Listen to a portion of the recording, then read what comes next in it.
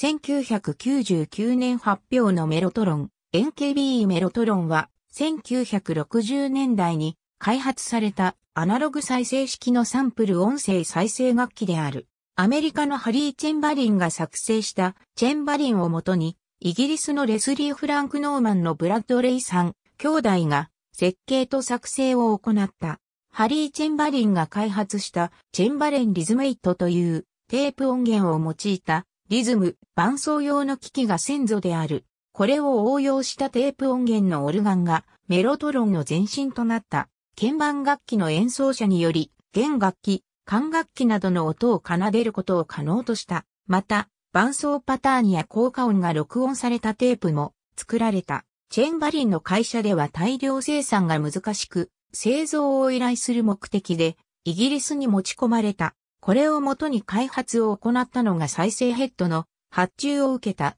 ブラッドマチック社を経営するブラッドレイ兄弟であった。彼らはストリートリーエレクトロニクスを設立。開発した楽器をメロトロンと名付け、当初は家庭用として販売することとなった。1962年に発売されたメロトロンは若干の改良を経て、ムーディー・ブルース、ビートルズ、キング・クリムゾンダが使用したことで1960年代後半に認知度を高めた。最初のモデル、マーク I2 は1本のテープにつき3トラック6ステーションの18音色を収録。左手及び右手用として35件の鍵盤が2セット並列に設けられ、左手用鍵盤には伴奏パターンや効果音を収録したテープがセットされている。鍵盤を1セットにまとめた M300 を経て、よりコンパクトかつシンプルなステージモデル M400 が1970年に発表された。これに伴い、ロックやジャズの領域拡大も相まってメロトロンを録音やライブで使用するアーティストは増えていった。イギリスのミュージシャンユニオンは1967年、メロトロンを使用することでバイオリンなどの演奏者を必要としなくなり、仕事を奪うものである音作りに協力したミュージシャンは、その音が他人に使われても全く収入にならないという声明を出した。後者の訴えは BBC でも問題になり、メロトロニクス社は協力したミュージシャンに保証金を支払っている。また、原案者であるハリー・チェンバリンとブラッドレイ兄弟は特許及び知的所有権で争っていたが、結果的に1966年、チェンバリンがブラッドレイ兄弟に権利を3万ドルで売り渡した。チェンバリンも自らの会社でテープ再生式の楽器を開発、販売した。普及した M-1 はメロトロンよりコンパクトなボディとよりハイファイなサウンドを持つ。1970年代中盤にはポリフォニックシンセサイザーやストリングアンサンブルが普及したため、それより扱いにくいメロトロンのユーザーは次第に減少。経営が悪化したストリートリーエレクトロニクスは1977年メロトロンの商標権を売却。その後、メロトロンの名称が使えなくなったストリートリーエレクトロニクスはノバトロンの名称で楽器の開発、販売を続けるが、1980年代には、フェアライト CMI やシンクラビアなどの楽器がサンプリング機能を有し、音楽制作の現場で人気を博す、シェアを奪われたストリートリーエレクトロニクスは1986年に倒産した。現在はテープ式のメロトロンの製造、販売が再開している。現在メロトロンの商標を持っている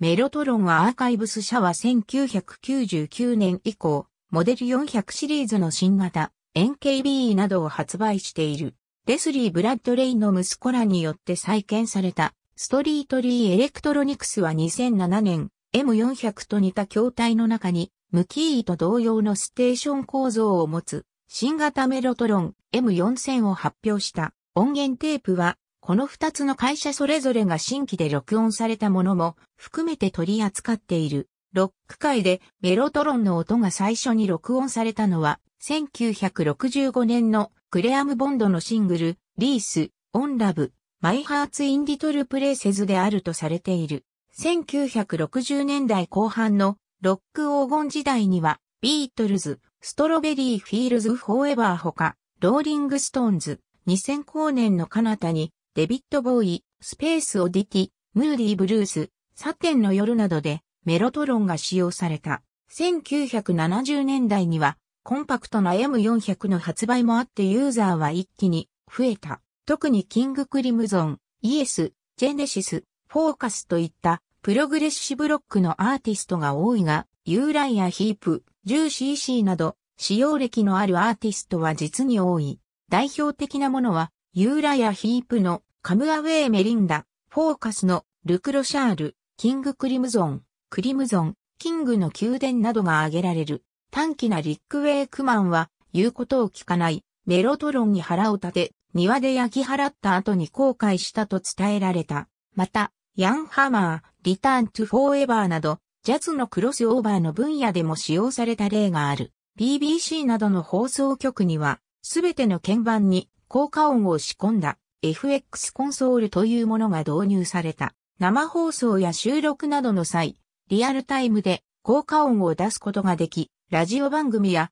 ドクター風などの制作に利用された。メロトロン発音機構の模式図鍵盤、ネジ、プレッシャーパッド、ピンチローラー、再生ヘッド、キャプスタン、ストレージビン、テープ、リターンローラー、スプリング音源となるテープは、鍵盤と再生ヘッドの間にセットされている。鍵盤にはテープを再生ヘッドに押し付けるプレッシャーパッドとモーターで駆動されたキャプスタンに押し付けるピンチローラーが取り付けられており、それぞれネジで高さを調整可能。鍵盤を押し込むと、テープはキャプスタンとピンチローラーに挟まれて前進しつつ、再生ヘッドに押し付けられて発音して、ストレージビンに格納される。鍵盤を離すとテープは、キャプスタンの回転から解放され、テープリターンローラーの端に取り付けられた、スプリングによりおよそ0.5秒で巻き戻される。鍵盤を押さえることで抵抗が増えてもモーターの回転数を維持、安定化させるため、モーターコントロールカードという基板がモーターには接続されている。こうした構造から以下のような独特の挙動がある。A 角音程のテープは再生できる範囲が8秒分で音色や音程によって収録時間は6から8秒程度となっている。このような有限の長さのテープを用いた面倒な機構を採用したのはピアノなどの減衰音の再生を可能とするためである。B 調整次第だが、あまり速いパッセージを弾くと、テープの走行開始が間に合わずに、音がきちんと発音されないことがある。C 同音連打を行うと、テープが途中から再生されるため、アタックのつかない音になる。ピアノやビブラフォンの音色で顕著。D 早く鍵盤を押し込むと、テープが再生ヘッドに叩きつけられて、プツというノイズが出て、音の立ち上がりが強調される。E、プレッシャーパッドのせり出し具合や鍵盤を押さえつける強さで音量が多少変わる。これを利用してスローアタック風に演奏することもできる。F、モーターコントロールが不安定な機種では強く鍵盤を押さえつけると音程が下がり、回転数が回復して正しい音程にベンドアップする反応が起こることがある。この現象は4つ以上の鍵盤を同時に押すと起こりやすい。メロトロンマッキー・チェンバレン660ミューズクマスターを元にして作られた。最初のモデル。左右に35ずつの鍵盤を持つ。6ステーション3トラック。55台前後生産され、一部は出荷前にムキー仕様に改造された。メロトロンムキーマーク I の改良型。外観は同一だが、ステーション切り替え用チェーンの強化、ステーション切り替え中の鍵盤ロック機構追加、パワーアンプがソリッドステート化。また、リードとリズムの音色配列も変更された。1960年代末にイギリスの大物アーティストが頻繁に使うようになり、伝説的存在となっている。出荷前に改良されたものも含めて300台程度が生産されたメロトロン M352 件の小型化モデル。左側18件は伴奏用、内蔵スピーカーは廃止された。6ステーションにトラックで、音色は専用のものが用意された。トラック選択は、ロッカースイッチで、ミックスは不可。後期型は、フロントパネルから音程調節が取り除かれる。生産数は50台程度で、量産型では、最も希少なモデル。メロトロン M400 最も普及した白い塗装のステージモデル。プリアンプがソリッドステート化し、ステーション構造は廃止。代わりに35本のテープを取り外し可能なフレームに固定し、一度に交換できるようになった。35鍵、3トラック。初期型は、モーターの回転数を一定に保つ、モーターコントロールカード性能が低く、音程が不安定。ストリートリーエレクトロニクスが部品を供給して作られた EMI 製のモデルもあるが、これは鍵盤下部を斜めに切り取って膝が当たらないように改良されたフォルムを持ち、ハードウェアや塗装の仕様も異なる。また、後年のオーバトロン名義で作られたものは、黒い塗装が標準となった。合計で2000台以上生産されており、中古市場で見かける、ほぼ唯一の機種である。メロトロン MKV2 台の M400 を左右につなげたようなモデル。しかし、モーターとキャプスタンは左右の鍵盤で共有している。コントロールパネルは鍵盤前面に配置された。全30台程度が生産された。ノーバトロン T550M400 の機構を小型化してフライトケースと一体化したモデル。わずか3台のみが作られた。大きさ自体はさほどコンパクトになったわけではないが、テープフレームを2セットとボリュームペダルを収納できるスペースを設けているメロトロン4トラック M400 を4トラック仕様に改良したプロトタイプでメロトロン USA が4台のみ生産。コントロール部はミキサーとなっており、再生ヘッドを移動させることなく任意の複数トラックをイコライジング及びミックス可能。筐体はアルミニウム合金製。メロトロン NKB-EM400 の改良型で、ドイツ製の高品質な鍵盤と真空管プリアンプを採用、低速スイッチを追加。これは基本的には音程が1オクターブ下がるように調整されているが、モーターコントロールカードのつまみを回すことで任意に設定可能。筐体を約5センチメートル高くし、立って演奏しやすいように改良。モーターコントロールカードも